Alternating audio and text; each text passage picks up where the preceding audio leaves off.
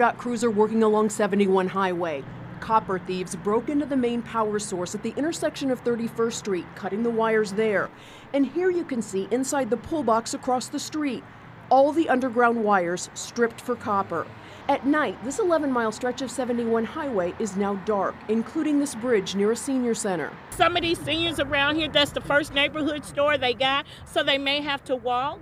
And this bridge is, I mean, just totally, you can barely see your hand in front of your face. It's a constant problem. We fix them.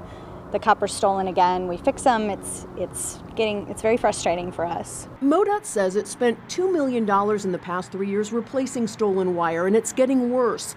It now suspects thieves are disguising themselves as MoDOT workers. We even had one of our employees spot someone who was dressed up as a utility worker that we're pretty confident was stealing our copper because they were not in a MoDOT vehicle. A real MoDOT crew will usually have a marked vehicle. Workers will be wearing hard hats and vests, but the most telling thing is time of day.